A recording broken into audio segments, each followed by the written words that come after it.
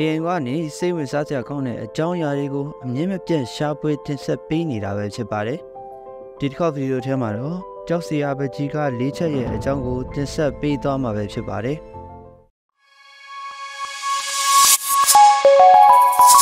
ကျွန်တော်ကတော့ All in One Founder မောင်ကြီးမြတ်သူဖြစ်ပါတယ်စားလိုက်အောင်ပါနံပါတ်၄ The Face of War by Salamander Dali The Face of War ပကြီးကကိုတေချာခန်းစားပြီးကြည့်လေ ကြောက်စရာအသွင်ပြေးနေကိုပုံမခန်းစားရလေဖြစ်မှာပါဒီပကြီးကားထဲမှာတော့ပိန်ပိန်ပါပါကြောက်စရာမျက်နှာတစ်ခုကိုကန္နာရထဲမှာငွေတွေကတိုက်ခိုက်နေတဲ့ပုံစံမျိုးနဲ့ရေးဆွဲထားတာပဲဖြစ်ပါတယ်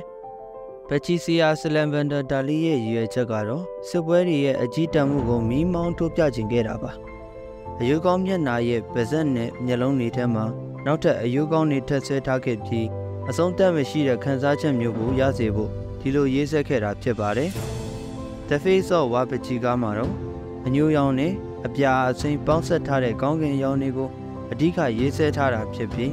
အညိုကတော့စစ်ပွဲတွေကိုယူညွှန်းတာဖြစ်ပြီးကောင်းကင်ရဲ့အယောင်ကတော့ငြိမ်းချမ်းရေးကိုကုစားပြုတာလို့ဆိုနိုင်ပါတယ်။ The Face of War ကိုတေချာလေးခြုံငုံခန်းစားကြည့်ရင်လူသားမျိုးနယ်တွေရက်ဆက်ကြမ်းကြုတ်တဲ့အဆုံးအစမရှိတဲ့ brave ခါတွေကိုပြက်ပြက်တတ်တာခန်းစားနိုင်မှာဖြစ်ပါတယ်။ဒီပကြီးကားရဲ့နောက်ထပ်စိတ်ဝင်စားစရာတစ်ချက်ကတော့ ပကြီးကားအောင်နားမှာပါတဲ့လက်ဝေယာတွေဟာပကြီးစရာစလန်ဗန်ဒါဒါလီရဲ့လက်ဝေယာတွေကိုထက်ဆဲထားတယ်ဆိုတဲ့အချက်ပဲဖြစ်ပါတယ်။ရာဇာတို့ရောဒီပကြီးကားကိုဘယ်လိုမြင်ကြလဲဗျ။နံပါတ်3 Sahab by Territory Charicot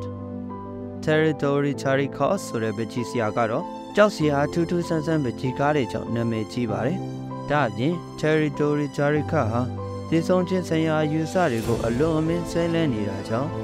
သူ့ရဲ့ပကြီးဆွဲကန်းထဲမှာပျက်စီးနေတဲ့အလောင်းကောင်တွေရဲ့အစိတ်ပိုင်းတွေကိုတင်ဆဲထားတတ်ပါသေးတယ်။စာဟာလိုအမည်ပေးထားတဲ့ပကြီးကားဟာတော်တော်လေးပြောင်မြောက်ပြီးတစ်ချိန်တည်းမှာပဲကြောက်စရာကောင်းပါတယ်။အမောင်မိတ်ဆုံးသောနိုင်ရည်တွေမှာတည်ဆုံးကြတဲ့ခေါင်းပြက်ကြီးနှစ်ခုကိုရေးဆွဲထားတာကတော်တော်လေးထူးဆန်းတဲ့လက်ရာပဲဖြစ်ပါတယ်။ဘယ်ဘက်မှာတော့အမျိုးသမီးခေါင်းပြက်ကြီးဟာမျက်လုံးများမိတ်ပြီးအသားရည်ကဖြူဖြော့နေပါတယ်။ မျိုးသမီးရဲ့ဘေးမှာတော့အမျိုးသားတစ်ယောက်ရဲ့ခေါင်းပြက်ကြီးဟာမျက်လုံးရောပါးစပ်ရောပွင့်နေတဲ့ပုံစံကိုတွေ့ရမှာပါ။ surface ကိုတေချာလေးခန်းစားကြည့်မယ်ဆိုရင်အလင်းအမောင်တစ်ခုကိုသုံးထားတာတွေ့ရပြီးဒါကရှင်သက်ချင်းကနေတေသုံးချင်းကိုပြောင်းလဲမှုဖြစ်တာတွေကိုပေါ်လင်အောင်ရေးဆွဲထားတာပဲဖြစ်ပါတယ်။ surface ပကြီးရဲ့စိတ်ဝင်စားစရာအကြောင်းအရာတချို့လည်းရှိနေပါသေးတယ်။ territory Jericho ဟာမြို့သားဥကောင်းကိုတော့ ကျိုးပိတ်ခံရတဲ့တကူတူရဲ့ခေါင်းကိုရေးဆွဲထားခဲ့တာဖြစ်ပြီး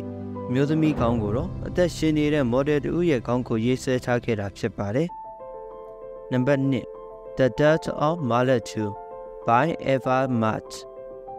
နောက်ထပ်ကြောက်စရာကောင်းတဲ့ပကြီးကားတွေထဲမှာတော့ဆက်စက်ရေးတစ်ခုအဆုံးသက်သွားတဲ့အခါမှာတိတ်ကြုံရနိုင်တဲ့အမောင်တို့တွေကိုပုံဖော်ရေးဆွဲထားခဲ့ပါတယ်။ The Death of Malatu ကိုတော့ Norway ပကြီးစရာ Advanced Match ကနေပုံဖော်ရေးဆွဲခဲ့ပါတယ်။ဒီပကြီးကားရဲ့နောက်ခံမှာကလည်းဇလန်တပုတ်ရှိနေခဲ့ပါတယ်။ပကြီးစရာ Eva Match ဟာသူနဲ့ဆစ်ဆက်ထားတဲ့အမျိုးသမီးသူလာလာဆန်နဲ့လမ်းခွဲခဲ့ရပါတယ်။သူတို့နှစ်ဦးဟာရန်ဖြစ်ခဲ့ကြပြီးနှလုံးပြူးတဲ့နဲ့ချောင်း Eva Match ရဲ့လက်မှာဒဏ်ရာရခဲ့ပါတယ်။ဒီဒဏ်ရာကြောင့်ပဲ Eva Match ဟာစိတ်ဒဏ်ရာရခဲ့ပြီးသူလာလာဆန်နဲ့ပတ်သက်တဲ့ The Death of Marat နဲ့ The Death of Marat 2ပကြီးကားနှစ်ချက်ကိုရေးဆွဲခဲ့ပါတယ်။ Marat ဆိုတဲ့နာမည်ကတော့1993ခုနှစ်မှာ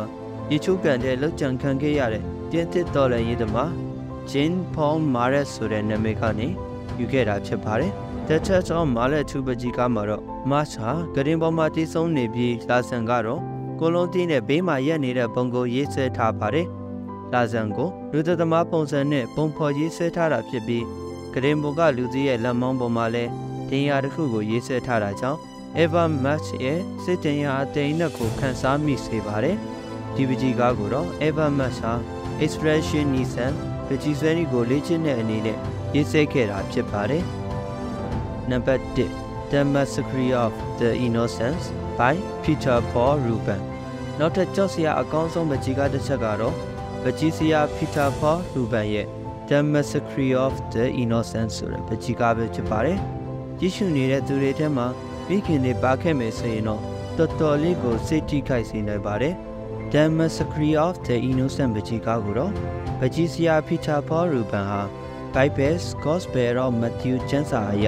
အမှန်တကယ်အဖြစ်ဖြစ်တစ်ခုဖြစ်တဲ့အပြစ်မဲ့တဲ့ကလေးတွေကိုရက်ဆက်ကြမ်းကြုတ်စွာတပ်ဖြတ်ခြင်းဆိုတဲ့အကြောင်းအရာကိုအခြေခံရေးဆွဲထားတာဖြစ်ပါတယ်။ The Massacre of the Innocent ကိုကြည့်မယ်ဆိုရင်မိခင်ကလေးနဲ့စစ်သားတွေကိုအဓိကရေးဆွဲထားတာကိုတွေ့ရမှာပါ။မိခင်တွေရဲ့ပူလောင်မှုအပြစ်မဲ့ကလေးတွေနဲ့စစ်သားတွေရဲ့ရက်ဆက်ကြမ်းကြုတ်မှုတွေကိုမျက်ဝါးထင်ထင်တွေ့မြင်နိုင်ပါတယ်။ဘက်ဂျီရဲ့အလယ်မှာတော့ကြက်သေးရောင်ကိုအဓိကအသုံးပြုရေးဆွဲထားပြီးညာဘက်မှာတော့စစ်သားဟာကလေးကိုတိုင်နဲ့ရက်သက်နေဟန်ရေးဆွဲထားက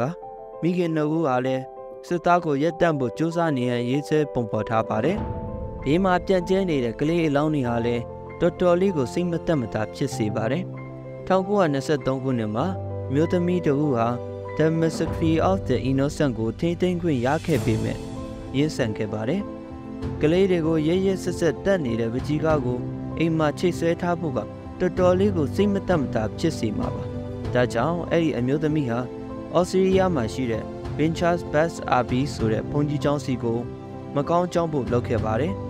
အဲ့ဒီနောက်မှာတော့ The Massacre of the Innocent ပကြီးကားကို86.8တန်းနဲ့လေးလံတင်ရောင်းချခဲ့ပါတယ်။ brother တို့ရောဒီပကြီးကားကိုပိုင်ဆိုင်ချင်ကြလားဗျ။ဒီတစ်ပတ်တင်ဆက်ပေးခဲ့တဲ့အကြောင်းအရာလေးတွေကိုကျင်းပနေသိကြလိမ့်မယ်လို့ထင်ပါတယ်။နောက်ရက်ဒီမှာလည်းည8နာရီခွဲတိုင်းမှာဒီလိုစိတ်ဝင်စားစရာကောင်းတဲ့အကြောင်းအရာတွေကိုနေ့စဉ်တင်ဆက်ပေးနေပါမလို့